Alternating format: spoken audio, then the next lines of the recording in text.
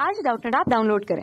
Doubtnut पर अपने सभी गणित, रसायन विज्ञान, भौतिक विज्ञान और जीव विज्ञान के डाउट्स का करो सफाया। बस प्रश्न की फ़ोटो खींचो, एक ही प्रश्न को क्रॉप करो और तुरंत वीडियो सोल्यूशन पाओ। अभी डाउनलोड करें।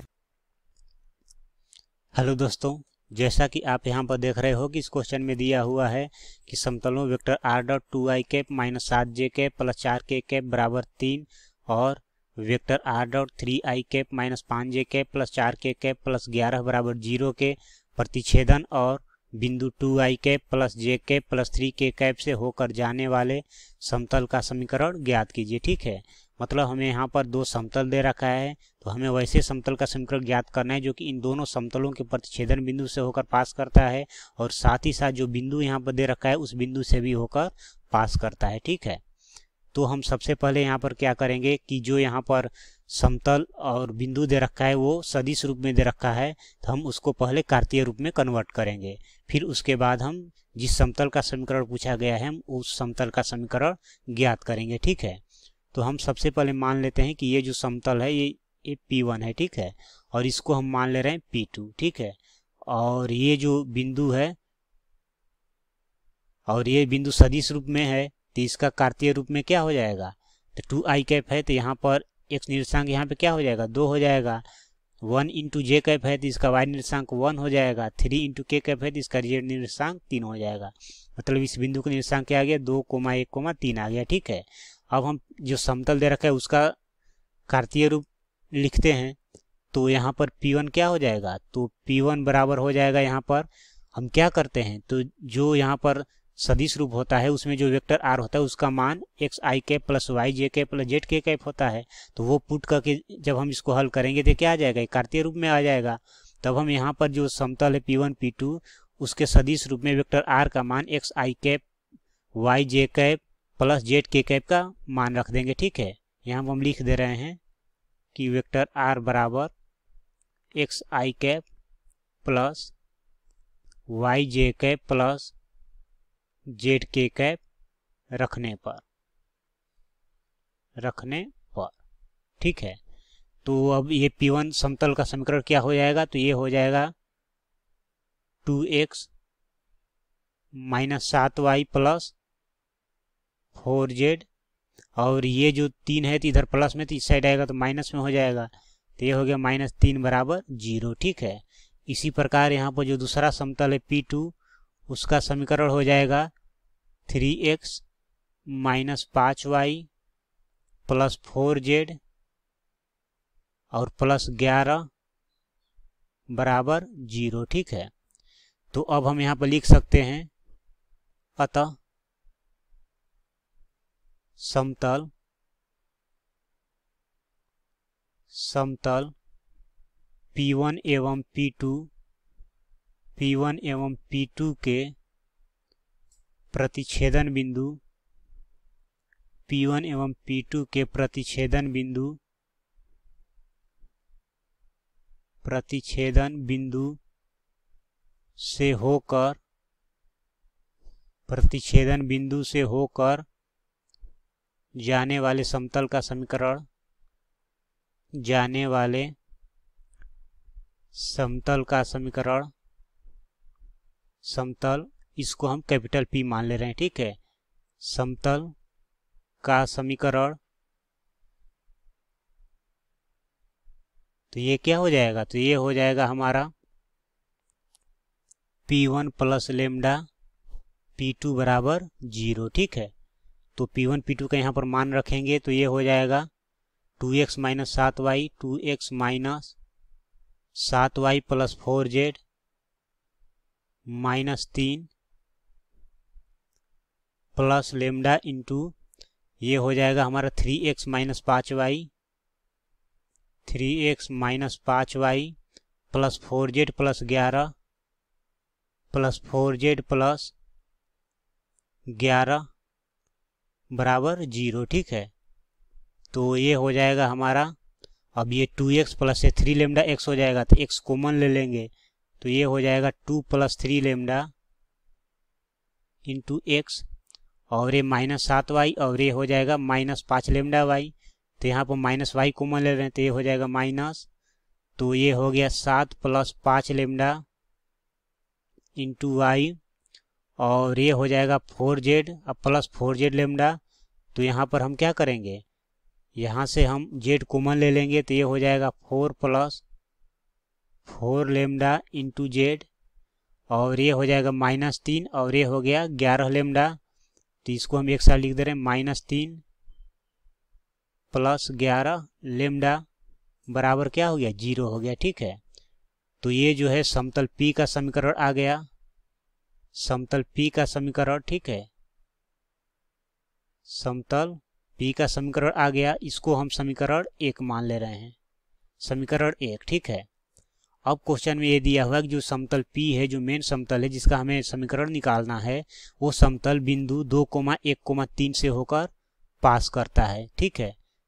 तो हम यहाँ पर लिखेंगे कि चूँकि चूँकि समतल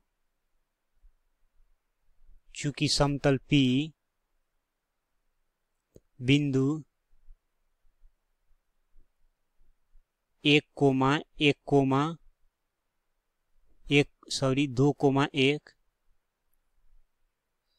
दो कोमा एक कोमा तीन, दो कोमा एक कोमा तीन से पास करता है। अब इसे पास करता है, इसका मतलब क्या हुआ कि जो बिंदु है समीकरण को संतुष्ट करेगा, जो समतल का समीकरण है। तो इसलिए ये हो जाएगा। अब इसका मान हम इसमें पुट करेंगे। एक्स के जगह पे दो वाई के जगह पे वन और जेड के जगह पे तीन, ठीक है? तो ये हो जाएगा टू प्लस थ्री गुने सॉरी टू प्लस थ्री गुने ये lambda three lambda three lambda into x x की जगह पे यहाँ पर टू आ जाएगा। माइनस सात प्लस पाँच लेमडा इंटू वाई तो वाई की जगह पे यहाँ पे वन आ जाएगा। Plus four plus four lambda और जेड के जगह पे क्या आ जाएगा? तो जेड के जगह पे तीन आ जाएगा और माइनस थ्री प्लस ग्यारह लेमडा बराबर ज़ीरो ठीक है? तो यहाँ से लेमडा का मान निकालेंगे तो ये हो जाएगा कितना? दो का दो से गुना करेंगे चार और दो का तीन से ये हो गया छः। और ये हो जाएगा हमारा माइनस सात और माइनस पाँच लेमडा। और ये हो जाएगा चार गुने तीन बारह, और ये हो गया बारह लेमडा। और ये माइनस तीन प्लस ग्यारह लेमडा बराबर ज़ीरो, ठीक है? तो ये हो जाएगा तो ये चार और माइनस सात कितना हो गया? माइनस तीन माइनस तीन और प्लस बारह तो माइनस तीन और बारह कितना हो जाएगा? ये नौ हो जाएगा और नौ और माइनस तीन तो नौ माइनस तीन कितना हो जाएगा? ये छः हो जाएगा तो ये हो गया छः और ये छः लेमडा माइनस पाँच लेमडा लेमडा हो गया, अब बारह लेमडा तेरह लेमडा हो गया और तेरह लेमडा और प्लस ग्यारह लेमडा, ये कितना हो जाएगा? तो तेरह और प्लस ग्यारह तो ये हो जाएगा चौबीस लेमडा तो ये आ गया प्लस चौबीस लेमडा बराबर ज़ीरो, ठीक है? तो यहाँ से हो जाएगा चौबीस लेमडा बराबर माइनस छ। तो यहाँ से लेमडा बराबर आ जाएगा हमारा माइनस छ अपॉन चौबीस। तो यहाँ से लेमडा का मान क्या आ गया? तो यहाँ से लेमडा का मान आ जाएगा कितना? तो ये हो जाएगा माइनस एक बटे में चार। तो यहाँ से लेमडा का मान आ गया माइनस एक बटे में चार, ठीक है? तब तो हम इस लेमडा का मान समीकरण एक में क्या करेंगे? रखेंगे। तो ये हो जाएगा हमारा।